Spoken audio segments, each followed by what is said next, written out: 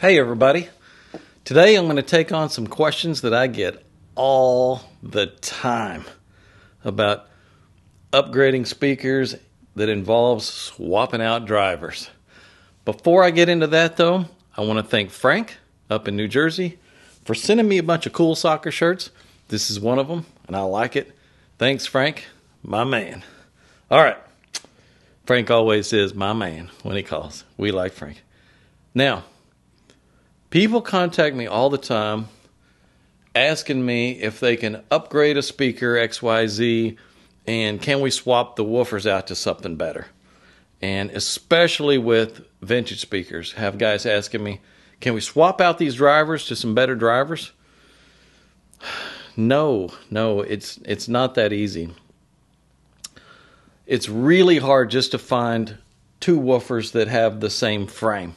You'd almost have to go to the same manufacturer to find something that's the exact same frame. All the frames are different, all the recesses, the mounting depths, everything are different. And then even if you did find one that you could retrofit into the box, the Thiele/Small parameters are typically different, so they require different air spaces. And on top of that, I have guys asking me, well, if I just retrofit the box, I mean, if the airspace is close enough, will you think the old crossover will work? No, no, it won't. Chances of it having uh, even the, any capability of mounting in the same holes and having the same frequency response where you don't have to change the crossover, zero chances of that happening. I mean, anytime you swap out any driver, the frequency response from one driver to the next will be so different, it will require a whole new crossover to be designed to incorporate it into that new design. I even have guys with vintage speakers saying, "Hey, can we just swap out all these drivers to newer model drivers, and I'll I'll figure out a way to get it mounted and and then send it to you for you to design a crossover for it." Well, if you're going to buy all new drivers, don't throw them in a vintage box. I mean, there's a reason that we've gone to these narrow baffles and not a big wide shoebox shaped speaker that sits on the floor. I mean, we value now imaging and soundstage layering and minimizing the surface reflections around the drivers so that the speaker will project more of a three dimensional image and a deep and layered soundstage. And when you have a big wide baffle and drivers mounted on something that's got a lot of surface reflection, it really detracts from the it you know it makes everything sound like it's playing from there forward. So um, if you've got an old vintage speaker, sometimes it's worth restoring those speakers, and sometimes for nostalgic reasons, there's sentimental value there to to restore a, an original speaker and to do some of those things. But as far as looking for performance, if you've got to buy all new drivers, just buy one of our kits. You'll be performance ahead and money's ahead. By the time you buy all new drivers, then you have to send it to us in a box and the shipping for that. And then I have to design something that's a one off, which means I can't sell 30 more of them to everybody else that has the same speaker to recoup the time that I spend doing the design work. I have to charge you for that design work and the parts, and you've spent twice as much as you would have if you had just bought one of our kits. So chances of that working out are pretty much just zero almost, you know, just it's not worth it. However, this is one of those times. This is one of those times where we were able to take an old speaker and turn it around and make something out of it. If you remember, I did a video uh, some time ago on the Vienna Acoustics Mozart and the Vienna, Vienna Acoustic Mozart Grand. And we were shocked at how the Mozart measured pretty well and was a good candidate for upgrades, but the Mozart Grand, which should have been grander, was it was a disaster.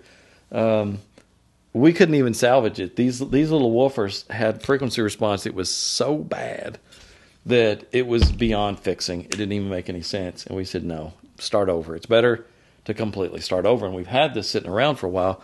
The owner has had some medical issues and wasn't interested in having to send it back right away.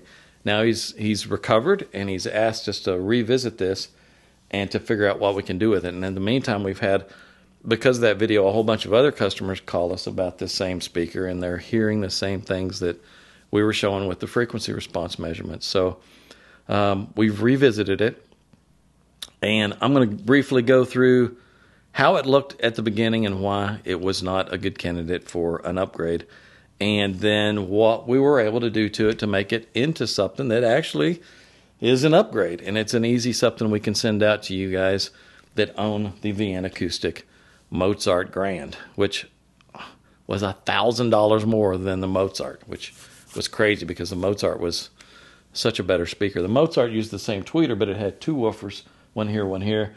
They shared the same airspace, and it had a pretty reasonable response. It just needed some help, and the parts quality was pretty poor. So it was an easy upgrade. This one, um, the the drivers are in individual spaces, same tweeter, but just different woofers. And why they went to this woofer, I have no idea. Um, let's look at the on-axis frequency response of this thing this is it. This is the on axis response. And I had some people that, uh, once they saw that, said, There's something wrong there. That, that can't be right. You, you're measuring it wrong, or you've got a bad one, or there's some bad drivers, or something's not right. Well, some of the other guys who watched the video and saw those measurements uh, responded, and one sent a measurement that he got from the manufacturer. In house, measured this speaker, had this frequency response measurement, and sent it to this particular customer. And let's look at them together. Our frequency response measurement versus the factory measurement. Now, the scaling is a little differently, a little different. Theirs is a little broader, so it looks not as rough. But if you take that into account and you chop off from 200 hertz and down, it looks almost identical to the measurement that we've got in this thing. They're splicing the low frequency range in from about 400 hertz and down, or 300 hertz and down, they're splicing in a near field response in order to make this extended full range response. We don't do that. We don't worry about doing that. We can easily calculate what's going on below 200 hertz, and we don't usually do near field measurements and then start splicing it in because it's really just a guess because you're just adjusting amplitudes to where it looks like it crosses and fits, and it's it's not a real measurement. So we don't really do it. It doesn't really tell us that much.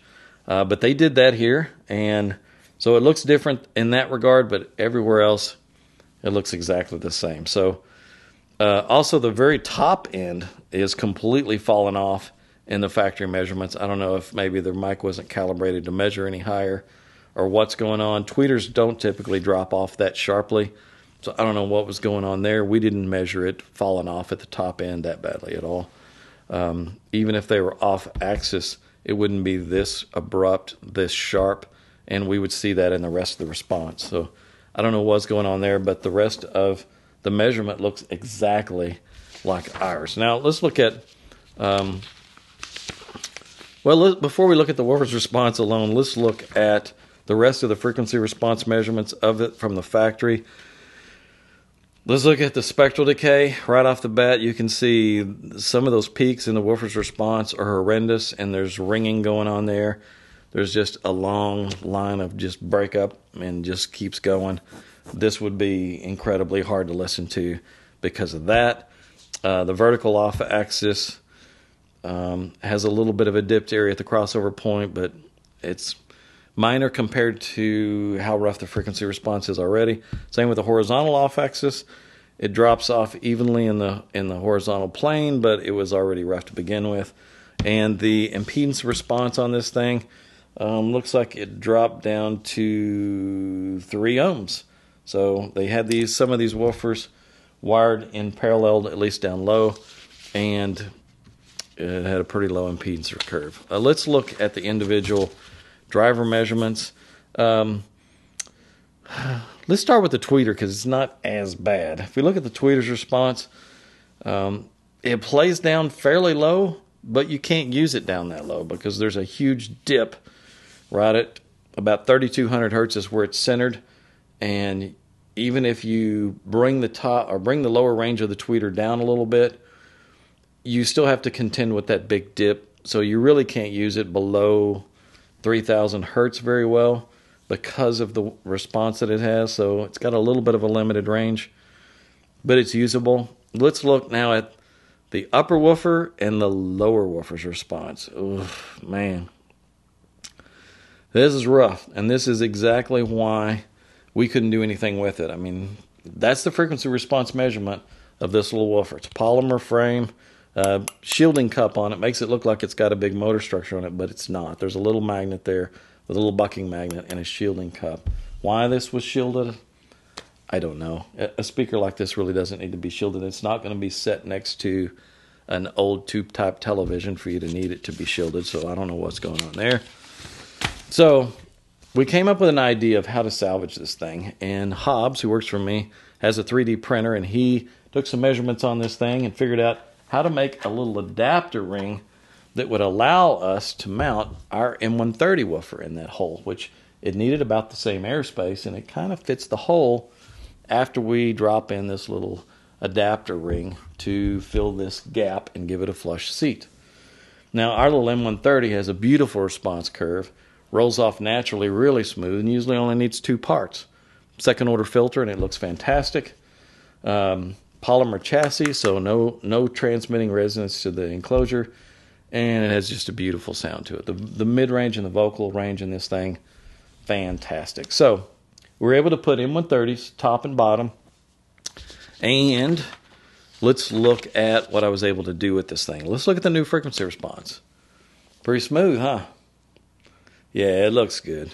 Um, let's look at the frequency response of the drivers individually and how they sum. You'll notice I was able to extend that tweeter's range down just as far as I could. I got it to cross at 3,000. Had to allow the M130 to play out a little further to reach it, which was no problem. And the lower M130 is just covering the very lowest frequency range by itself. So only the tweeter's crossing here, and it's getting a little helper down low. Let's look at the horizontal off axis. Looks fantastic. Smooth as can be. Really good horizontal off axis. The vertical off axis looks okay. We start seeing a little dip there as we start moving up higher in, in the off axis. Um, that's because the crossover point is way up there at 3000 hertz. Typically, when we cross our tweeters to this thing, like our T26s, we'll cross at 1800 or 2000 hertz. And the wavelengths are so much longer there that as you move up in height, you're not making very much phase rotation at that frequency versus at 3000 hertz the wavelengths are almost half the length. And so you don't have to move as far um, from one driver versus the other for them to start arriving out of time and then causing that little bit of a dip there. So that's what's going on there. Looking at the spectral decay it's pretty clean uh, really clean overall. Tweeter's got a little bit of, of uh, hash there at the top little bit of something going on there at the bottom of the uh, the range, and it could be we needed to add a little more insulation inside to completely get that out of it. But overall, frequency, uh, spectral decay looks really clean, and um, the impedance looks really good now. It only has a minimal dip of four and a half ohms right at the tuning frequency of that port uh, or of the ports that are on the back. So uh, that worked out really well. It's more balanced now. And we try to keep this parts cost down as much as possible. I've got two different levels of this kit that we can do. Uh, keep in mind the kit includes four of our M130 woofers, all new wiring, a set of tube connectors to replace these cheesy binding posts that are on the back of this thing. It includes four of these adapters that we 3D print so that you can swap this stuff out. And with all polycaps, all air core inductors from US Coils, uh, the caps are J, mostly JB poly caps, and there is a bypass cap in the tweeter circuit, a little Sonicap, um, to improve the clarity and the detail levels of the tweeter without spending a lot of money. So that whole kit came to $525 for everything you need. And then we did a version of it where instead of just the poly caps, we use Sonicaps on the tweeter circuit, which should bring the detail and resolution levels up another notch. That's $618 for that full upgrade, and that will transform a broken speaker with nice looking cabinets into an actually great sounding little speaker. Good sensitivity, um, almost mm, 89 to 90 dB sensitivity. I'd call it 89 and a half dB sensitivity. So easy enough to get good output levels out of. And M130s always sound fantastic. And it'll work well with this tweeter. So great sounding little upgrade. It was a rare moment that we could pull off an upgrade on something where we're having to swap out drivers and still make it affordable and make it work. So, like I said, one of those rare occasions when we made it happen. That's it for this video. Um, thanks for watching. Hit the subscribe button if you haven't. I do appreciate all you guys who subscribe to our channel. And I will see you guys in the next video.